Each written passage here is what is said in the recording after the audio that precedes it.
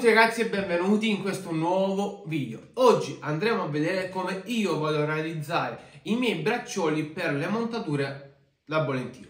In molti di voi hanno già visto durante qualche video o sulle storie su Instagram, se non mi seguite vi lascio qui in basso il link per seguirmi anche su social network Instagram dove vado a pubblicare le battute di pesca e mie, le mie montature. Hanno visto questo qui, ovvero questo stand braccioli. In tanti mi hanno chiesto perché ho i braccioli qui, a cosa serve, a cosa non serve. Oggi andremo a realizzare questa tipologia di braccioli. Perché uso questi braccioli? Perché semplicemente io sulla mia montatura da Bolentino non utilizzo girelle, non utilizzo tecnosfere, ma utilizzo queste girelline con lo sgancio rapido. Ve le faccio vedere.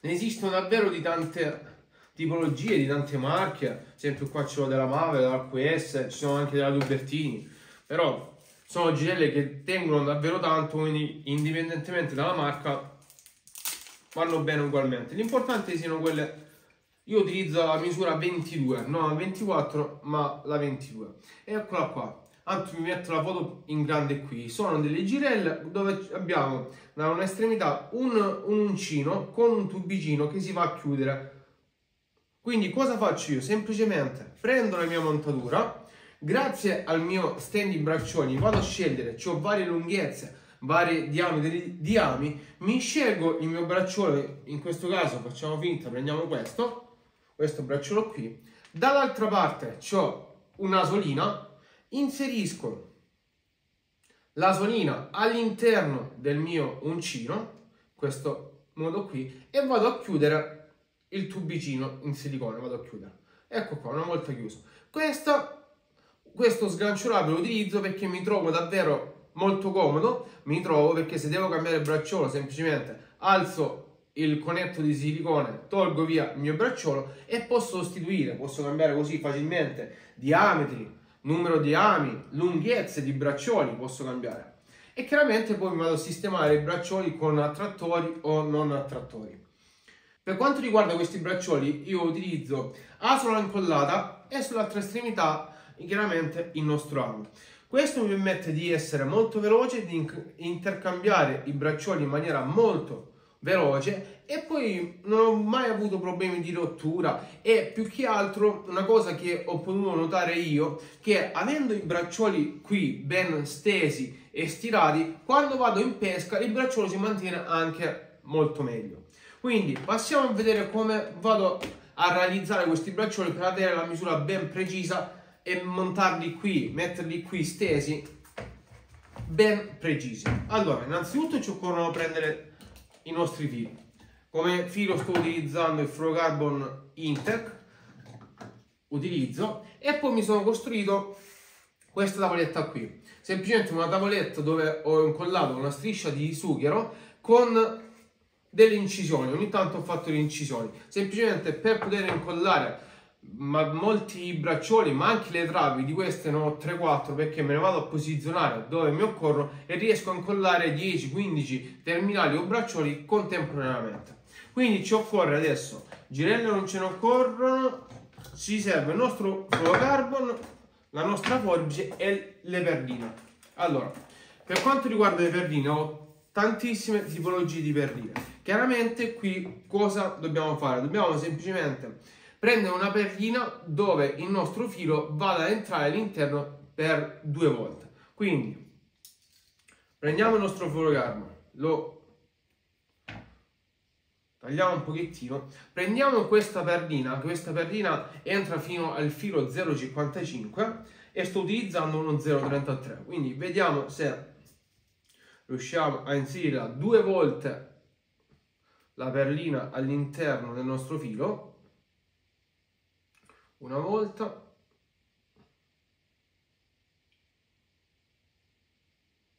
Ok. Vedete? Ho creato un asolo con questa perlina qui. Allora generalmente io ne vado a mettere due perline. Ma per velocizzare il tutto ne sto mettendo solamente una. Cosa faccio? Lo lascio un po' più lungo in questa maniera il nostro baffo, diciamo, lo vado a inserire dentro al taglietto che abbiamo. Una volta inserito, mi vado a calcolare. Se, allora, per quanto riguarda adesso la distanza, è normale se io devo fare braccioli da 40 cm, vado a tagliare a 50 cm, vado a tagliare, lascio quei 10 cm in più che mi serviranno poi per legare il mio amo. Passiamo avanti, prendiamo un'altra perlina, ripassiamo il filo all'interno, quindi andiamo a ricreare la nostra solina con la nostra perlina e andiamo a inserire nella seconda tacchietta. Andiamo a inserire tagliamo a circa 50 cm chiaramente se vogliamo io in base poi se voglio velocizzarmi o meno no? adesso stiamo facendo un video. Semplicemente mi vado a calcolare qui ho segnato i 50 cm taglio il primo e poi me ne taglio tutti gli altri no? che chiaramente quando mi metto a fare i braccioli ne vado a fare molti braccioli contemporaneamente così velocizzo il tutto. Tagliamo qui perfetto. Tagliamo quest'altro cavo a metà. E adesso prendiamo il nostro filo prendiamo la nostra perlina e possiamo procedere a inserire le perline ok adesso ho fatto come potete vedere non so se riuscite a vedere, ne ho inserite due all'interno. Semplicemente quando vado a incollare io non le lascio vicine una all'altra, ma le vado a distanziare circa mezzo centimetro. Adesso comunque vi faccio vedere da più vicino. Vi faccio vedere. Allora, visto che prima non si è visto, stavate un po' lontani, innanzitutto vi faccio vedere la girella con lo sgancio rapido. E questo è il mio filo. Semplicemente cosa abbiamo fatto fino adesso? siamo andati a prendere la mia perlina, l'abbiamo inserita all'interno, l'abbiamo inserita, una e due, se vogliamo farla con due perline, una volta inserita rigiriamo il filo e lo andiamo a reinserire di nuovo dentro la perlina. Ok, in questa maniera. Una volta fatto questo, lo vado a inserire dentro i miei attacchi.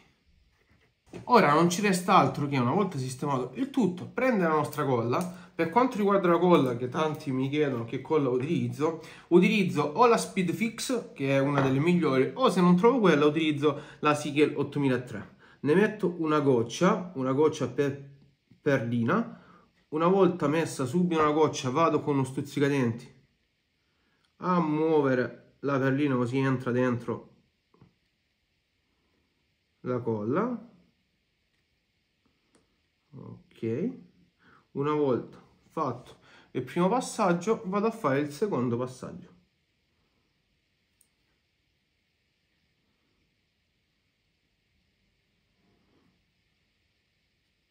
andiamo a togliere sempre con l'incidenza la colla in eccesso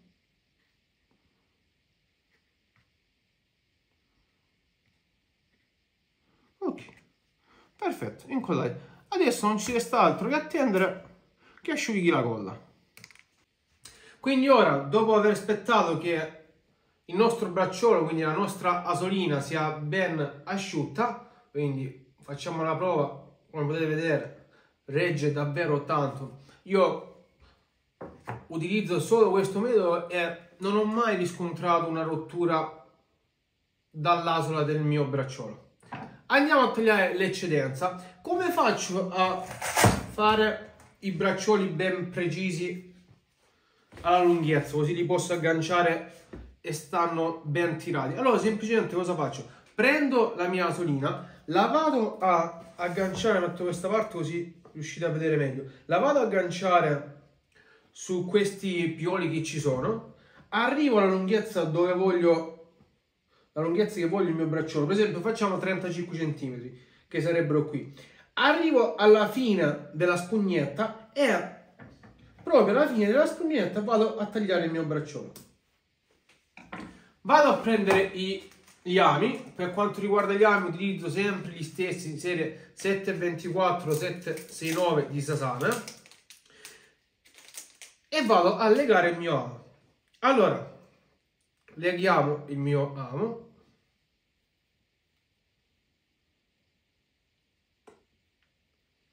Ok, una volta legato, tagliamo l'eccedenza, prendo la mia asola, l'aggancio e mi vado ad agganciare l'amo. Ecco qua, e ce l'ho ben preciso. Chiaramente prendiamo il secondo. Adesso io li sto facendo uno a uno, non se no certe volte per anche velocizzare il tutto, ne prendo 3-4, li aggancio sui pioli, li aggancio, mi calco la lunghezza, in questo caso 35, al fine della spugnetta taglio, taglio al fine della spugnetta perché? Perché semplicemente ho la lunghezza che andando a legare il mio amo mi mancherà un centimetro, quindi riesco a agganciarlo tranquillamente. L'unica cosa che voglio specificare è che questo sistema di tagliarlo solamente a fine spugnetta funziona se andiamo a utilizzare ami a occhiello. Se utilizzo invece ami a paletta, chiaramente utilizziamo più filo per legarli e quindi dobbiamo farli un po' più lunghi. Tagliamo l'eccedenza, agganciamo, eccolo qua. E anche questo è ben preciso qui. Semplicemente qual è il vantaggio di utilizzare questi braccioli sganciolati? La velocità durante l'azione di pesca per intercambiarli, per fare tantissime prove. Se voglio fare la prova a bracciolo più lungo, più corto, lo posso fare tranquillamente. Quindi una volta che mi vado a sistemare tutti i miei ami, quindi qua ne vanno 80 ami ne vanno qui dentro, quindi diciamo a voi, per esempio io una volta che riempio questo ci faccio tutta la stagione. Infatti, per quanto riguarda travi, le travi ne faremo una decina al massimo e stiamo bene per tutta la stagione perché tanto la trave noi la recuperiamo sempre. Quello che cambiamo molto spesso è il bracciolo. Una volta che finisco l'azione di pesca, tolgo i braccioli, ma la trave mi rimane sempre intatta. Quelli che vengono utilizzati più spesso e vengono cambiati più spesso sono i nostri braccioli. Quindi questo è il metodo che avete visto quando vado io a pescare a Bollentino con gli sganci rapidi. Questo è un affarino secondo me che chi fa Bolentino non può mancare, è molto utile, pratico e ci facilita tanto l'azione di pesca. E niente ragazzi, per questo video è tutto, io vi ringrazio ancora una volta, vi chiedo, l'unica cosa vi chiedo è di mettere un bel mi piace e seguirmi sia sul social network Instagram che qui su YouTube e noi come sempre ci vediamo al prossimo video. Ciao!